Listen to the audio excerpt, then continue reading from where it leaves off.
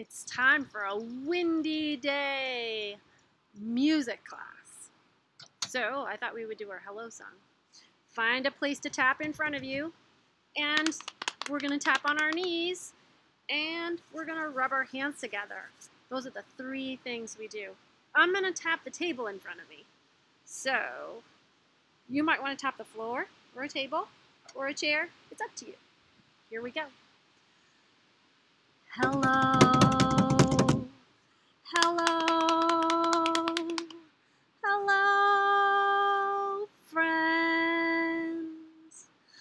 Hello.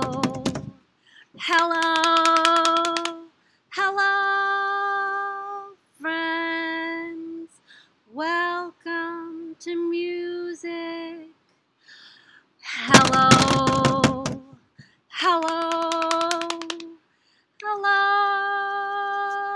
friends. We're excited about music.